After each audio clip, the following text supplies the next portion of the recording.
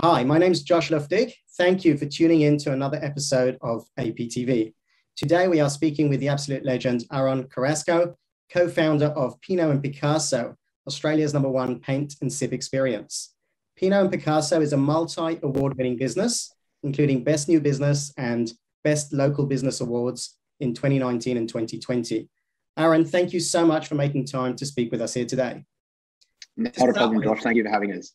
Uh, absolute pleasure, mate. So to start with, um, how long have paint and sip businesses been around for? What's the industry size, and um, how has the industry grown over the time frame?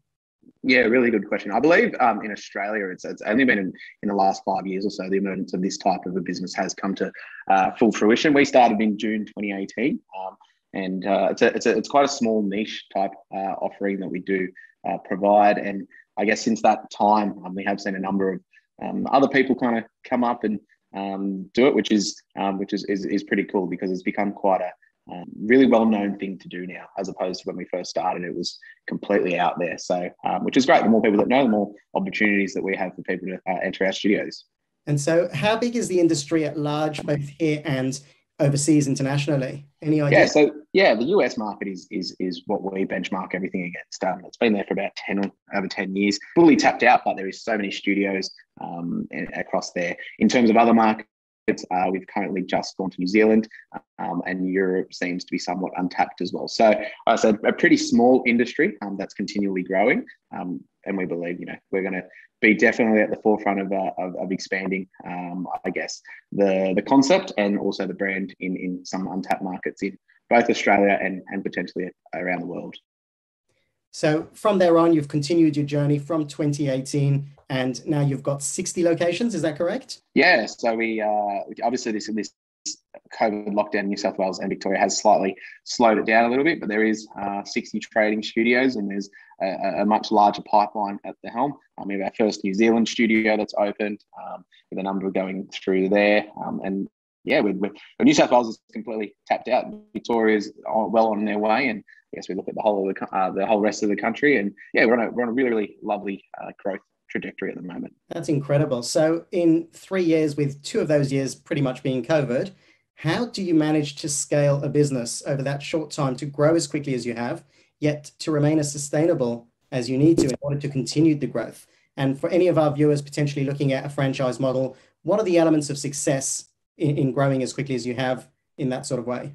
every day is just a little bit different. So we don't completely say this is the roadmap or whatever it may be. Um, what we have learned is that when there is times of um, tough tough periods, such as the first lockdown that happened last year and then what we've just come out of, um, we really see it as a very, very good point to double down investments, um, make marketing heavier, um, invest in the brand a little bit more, invest in personnel. Um, all different types of ways that we've done, um, and we believe that we've been quite successful through these really heightened periods of um, you know restrictions. That when you come out of it, you, you see the dividends of it, you know, much much higher than if you were to kind of um, rest on your laurels a little bit because it was a tough period. Um, but in terms of the franchise model, how do you scale such a big business? What are the core elements that are required to go from one, two, or three studios to a massive amount of 60 in a short period of time? Is it all processes? What are the key elements that are required?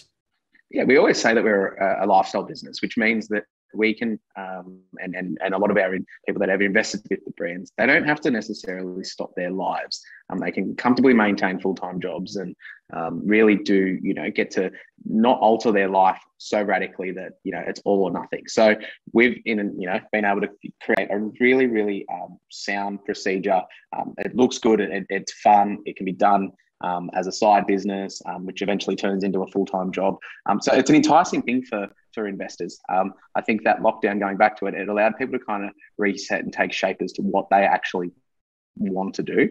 Um, and I think they found that they were, you know, even the most experienced uh, company people can still be just as vulnerable in their jobs as um, some, you know, others. So I think they wanted to take a lot more um, flexibility in their lives and and really kind of dictate if something was to go quite wrong, um, that they're still in control of, of what potentially their futures may be. So these are all things that I, I guess we pr- prided ourselves on and being able to provide an affordable and profitable business. um, which then indirectly has, has allowed uh, you know us to create a bigger pipeline, um, uh, get more um, business owners on board, and and really scale up to to the numbers that you're talking about. What are some of the big either challenges or mistakes that you feel you've made, and what would you do if you could change one big aspect along that journey? We always talk about like failing fast. Um, it's quite a you know common business term really, but fail fast, don't look back in anger and, and move on and learn and review and get on with it. So, um, in terms of a, a monumental uh, mistake, I think it was um, really, really early days that kind of broke, uh, was the straw that broke the camel's back for James and I to actually take this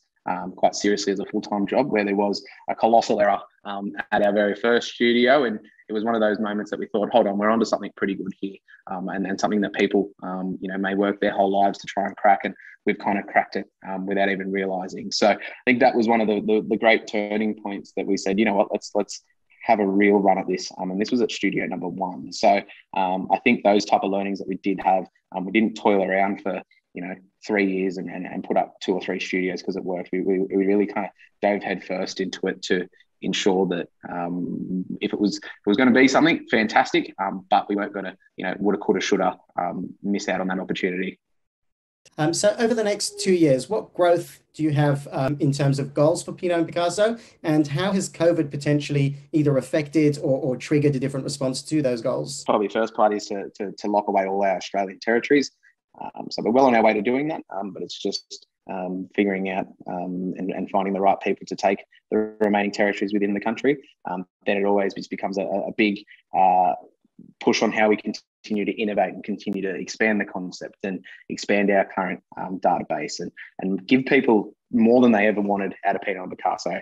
Um, so that's probably our first part. The second one is, is, is effectively penetrate um, both the New Zealand and, and UK markets, um, which again, a lot easier said than done. Um, but they're, they're, I guess, what's looking in the next 12 to 18 months down the pipeline. Um, and yeah, it's just all about now um, consolidating the brand that we do have and, and, and continuing to be cutting edge and, and that brand that other brands look, look towards and, and, and kind of keep them on their toes as well, just thinking, what, what are these guys going to do next? So uh, they're things that, you know, get us bouncing out of bed on a Monday morning. Um, and, and, I don't think that's going to stop anytime soon. That's really, really exciting. Thanks for painting that picture for us. Um, as someone who has relationships with a variety of landlords, what aspects do you see as most important in tenant landlord relationships?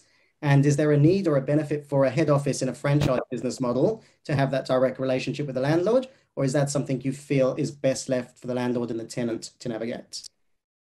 Really good question.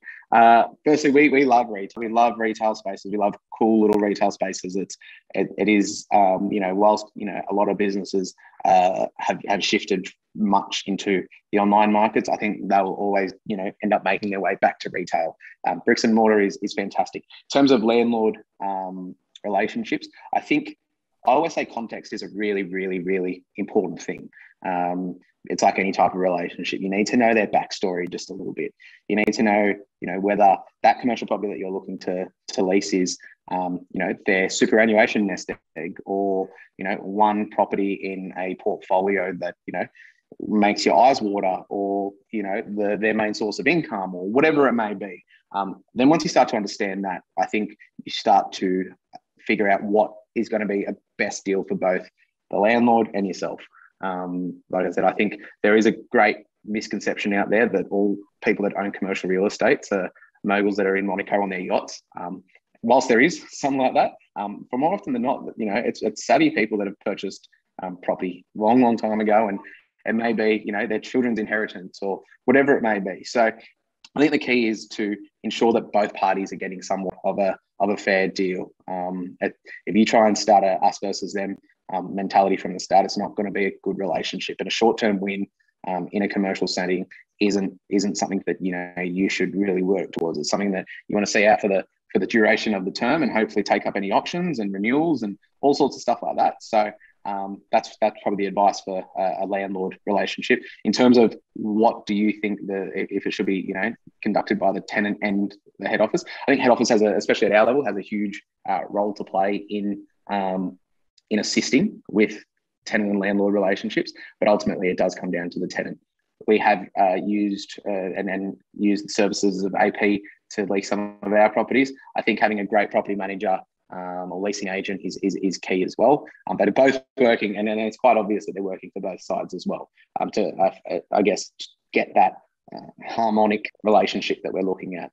Um, but I think it, it, ultimately lies with the tenant and the landlord um, with great assistance from, from the head office company. Aaron, thank you so much for sharing all of those valuable messages, some learnings and insights into, uh, into your incredible business. Not a problem. Thank you very much for having me.